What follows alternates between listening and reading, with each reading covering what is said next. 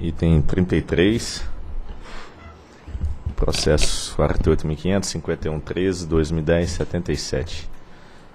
Pedido de reconsideração interposto pela Associação Nacional dos Consumidores de Energia, em face do despacho 2260 de 2012, que declarou que não fazem parte do mecanismo de reembolso da conta de desenvolvimento energético os custos ou receitas associados às cinzas oriundas da queima de carvão mineral, bem como deu provimento à impugnação apresentada pela Companhia de Geração Térmica de Energia Elétrica, a fim de que não lhe seja exigida a devolução de recursos da CDE destinadas a cobrir custos com o transporte e manuseio de cinzas. Diretor relator, doutor André Peptoni. Senhores diretores, antes de adentrar aqui a leitura do voto, quero fazer um registro em meu nome, e acredito que não só em meu nome, mas em nosso nome, em nome do colegiado da ANEL, registrar o nosso sentimento de pesar e o nosso abraço solidário e extensivo a toda a família pela perda irreparável do ilustre diretor da ANASE, o Lúcio Reis, que muito contribuiu para o desenvolvimento da regulamentação do serviço de energia elétrica no Brasil, com sua significativa atuação na interlocução em defesa dos interesses do consumidor de energia, que é um recurso da, da ANAS, eu acho que merece esse registro em nome do colegiado da Agência Nacional de Energia Elétrica. Em 20 de dezembro de 2010, a Superintendência de Fiscalização Econômica e Financeira, SFF, emitiu o termo de, no, de notificação número 51 em desfavor da Eletrobras em razão do custeio de despesas não passíveis de reembolso pela CDE, tais como o transporte e o manuseio de cinzas correspondente ao carvão fornecido. Com o objetivo de sanar as divergências registradas, a fiscalização determinou à Eletrobras que suspendesse imediatamente os reembolsos das diversas despesas com, a, com, as prestações de serviços que não estivessem enquadradas no artigo 13º da Lei 10.438 de 2002. Em 25 de fevereiro de 2011, a SFF emitiu um termo de notificação, termo de notificação número 25, determinando a Eletrobras que realize o levantamento de todos os reembolsos de despesas com prestação de serviço pagas irregularmente no período de janeiro de 2006 a dezembro de 2010, com o propósito de apurar o montante a ser reembolsado, devendo essas despesas serem atualizadas mensalmente pela variação do índice de GPM a partir da data de reembolso até a data efetiva de devolução, podendo ser adotada como forma de, de devolução a compensação de tais valores nos próximos reembolsos a serem realizados pela Eletrobras por conta da CDE e as respectivas devoluções deverão ser parceladas ou compensadas pelo período de 24 meses. Então, diante desse, desse encaminhamento, iniciou-se o pagamento pela CGTE desse valor em 24 meses.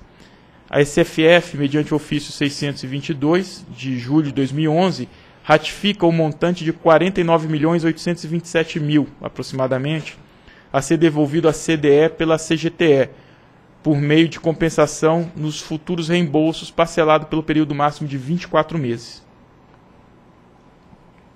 Nessa mesma data, a Eletrobras informou à CGTE que daria início às compensações determinadas pela SFF no desembolso subsequentes. Então, entendeu-se que foi pago indevidamente pela Eletrobras à CGTE esse montante de 49 milhões. Determinou-se que isso fosse devolvido em até 24 parcelas e a Eletrobras começou a cobrar da CGTE essas, esses do. Não é nem duodécimo, é esse 1,24 avos. Dessa mesma data, ok. Em 10 de agosto de 2011, a CGTE apresentou impugnação contra os termos de notificação número 51 e 25, os quais determinaram que a Eletrobras demandasse da CGTE, titular das usinas termoelétricas Acavão, Presidente Médici e São Jerônimo, um reembolso à CDE de montantes utilizados de janeiro de 2006 a dezembro de 2010 para custear despesas de manuseio e transporte de cinzas gerados no processo de queima do carvão mineral. Fim da instrução processual, a ANEL aprovou um despacho de número 2260 nos seguintes termos. Esse despacho foi relatado inclusive pelo diretor Julião. Declarar que não integram o mecanismo de reembolso da CDE os custos ou as receitas associadas às cinzas oriundas da queima do carvão mineral. Então é fato quanto ao mérito, era um valor que não faz parte da, do mecanismo da CDE. e dar provimento à impugnação apresentada pela CGTE, a fim de que não lhe seja exigida a devolução de recursos da CDE destinados a cobrir custos com transporte e manuseio de cinzas, no período anterior a essa decisão. E aqui eu vou ter oportunidade de detalhar isso. Então, mediante o fax 1632, de 20 de setembro de 2012, a Eletrobras solicitou esclarecimentos sobre como proceder para o cumprimento da decisão da ANEL, tendo em vista que a CGTR requeriu a devolução dos, 20, dos montantes pagos, que daquele total de 49 milhões já havia sido pago pela CGTE 27, praticamente 28 milhões de reais. Aí, senhores diretores, em 25 de setembro de 2012, a Associação Nacional dos Consumidores de Energia, a ANASE, interpôs recurso de reconsideração, pedido de reconsideração ao despacho 2260 de 2012, requerendo a reforma da decisão a fim de que fosse exigida da CGTE a devolução dos recursos da CDE utilizados com o transporte e o manuseio de cinza.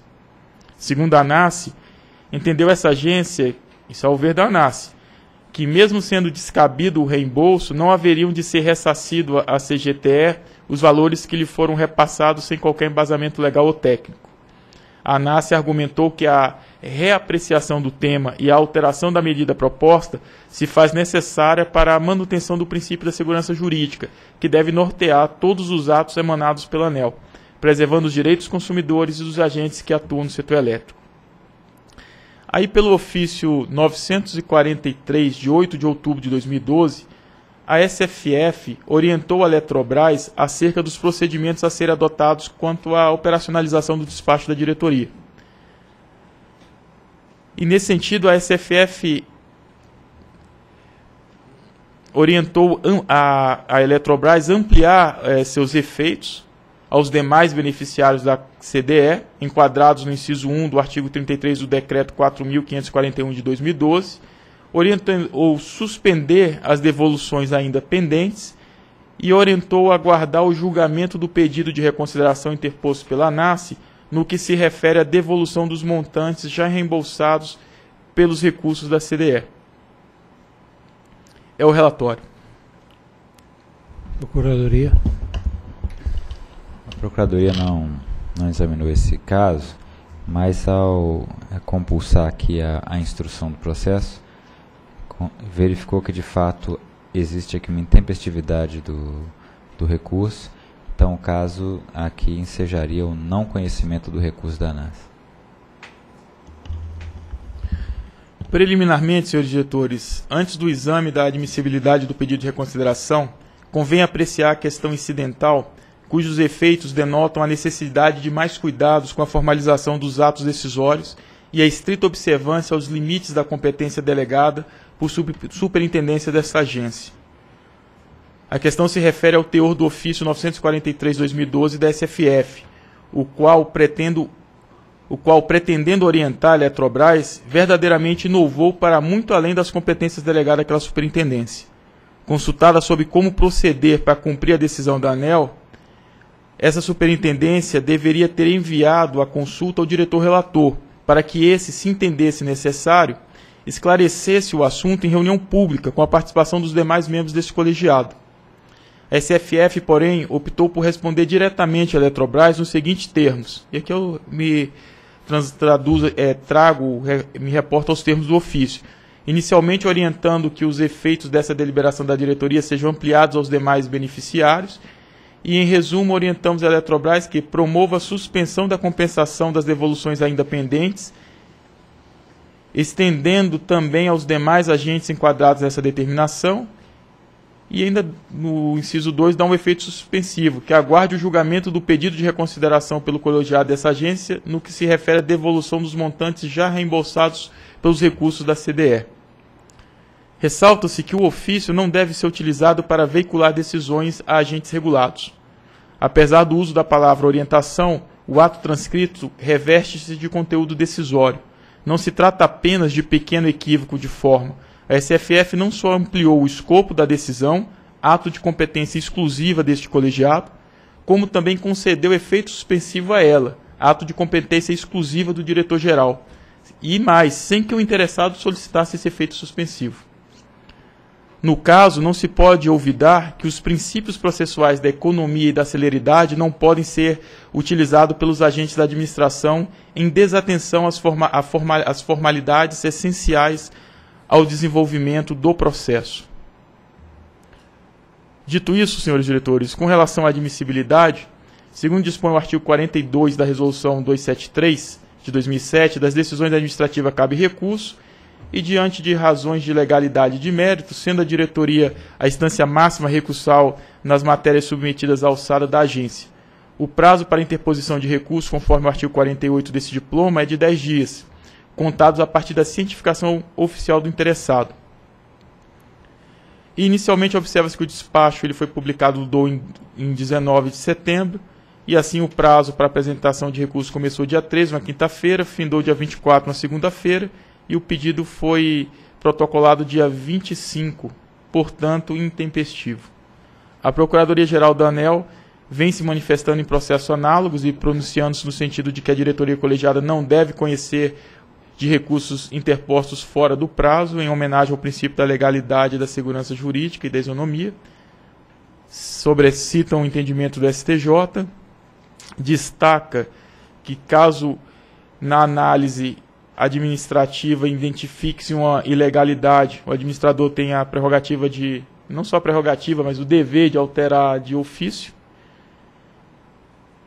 E aqui eu estou no parágrafo 25, que no contexto quanto à alegada falta de embasamento legal ou técnico pela ANAS para cobertura de despesas relativas ao transporte ao manuseio de cinzas pela CGTE, observa-se exatamente o contrário.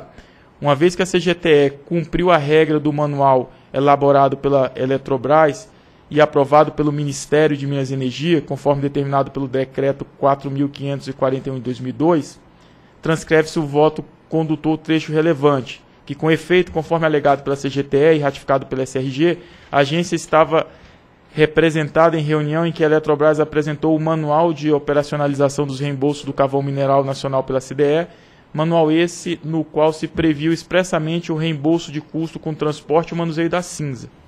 Isso aí que foi discutido na análise do mérito, que foi o recurso do diretor Julião, que de fato no manual estava escrito, no manual aprovado pela, pelo Ministério, que estava escrito que ele fazia jus ao reembolso de custo com transporte e manuseio da cinza. Entretanto, o entendimento foi que esse custo não pertence à CDE. Em relação à observância ao princípio da segurança jurídica, verifica-se que a decisão a ele recorre ao impedir, nos termos do artigo 2 parágrafo único do inciso 13º da Lei 9784 de 1999, a aplicação retroativa da interpretação da administração. Extrai-se do voto condutor do trecho, trecho pertinente.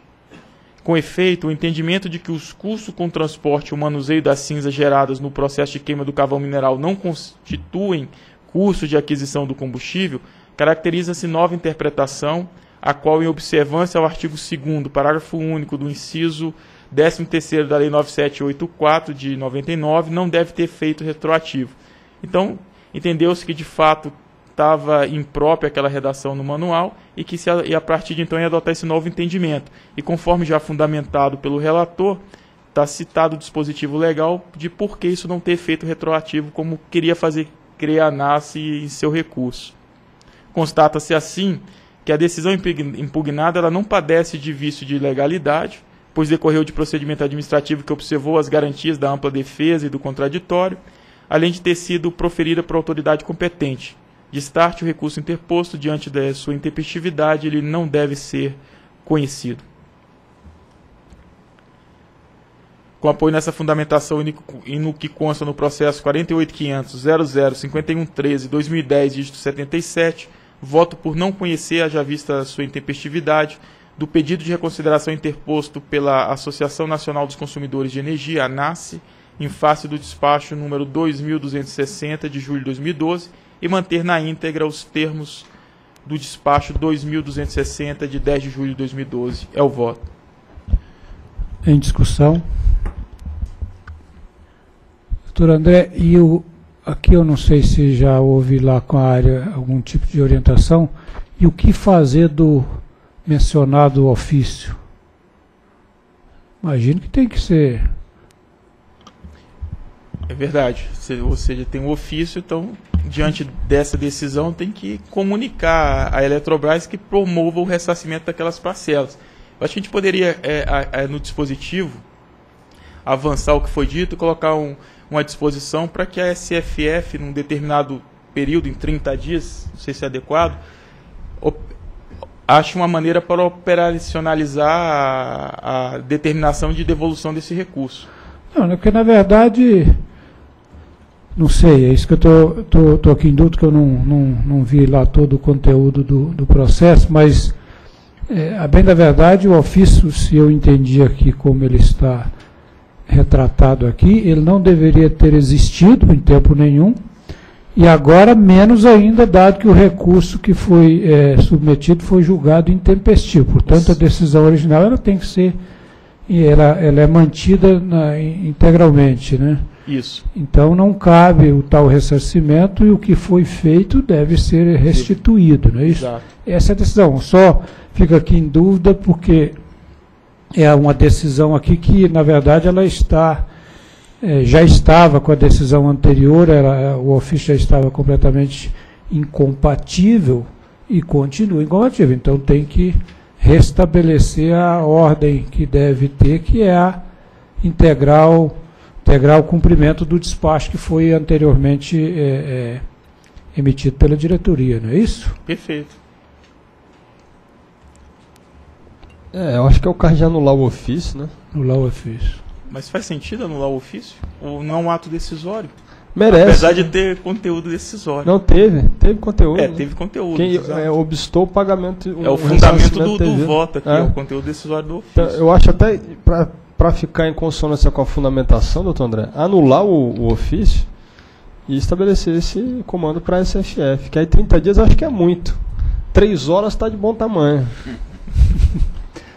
Pois é, nós não precisamos orientar para nós podemos e devemos anular o ofício, porque ele tem conteúdo decisório. Então, ou seja, eu vou incrementar aqui no dispositivo, anular o ofício e não conhecer o recurso. Agora, acho que não cabe dizer que a decisão tem que ser implementada. Isso aí já é o que deve ser feito. Aí cabe à diretoria exercer seu papel e, e exigir o cumprimento da decisão. Então, ok. Em votação, Eu voto com o diretor relator e chamo a atenção do Zé Renato para ele ver se essa decisão foi cumprida agora, né? Essa que a gente vai tomar vai ser cumprida no menor prazo possível. Também voto com ela. doutor. Eu também voto com o relator e proclamo então que a diretoria decidiu por não conhecer, haja visto sua intempestividade, do pedido de reconciliação interposto pela ANAS em face do despacho 2260 de julho de 2012 e manter na íntegra os termos do despacho 2260 de julho de 2012 e anular o ofício número tal que está aqui relacionado, não é isso? É, emitido pela SFF, é isso? Próximo item.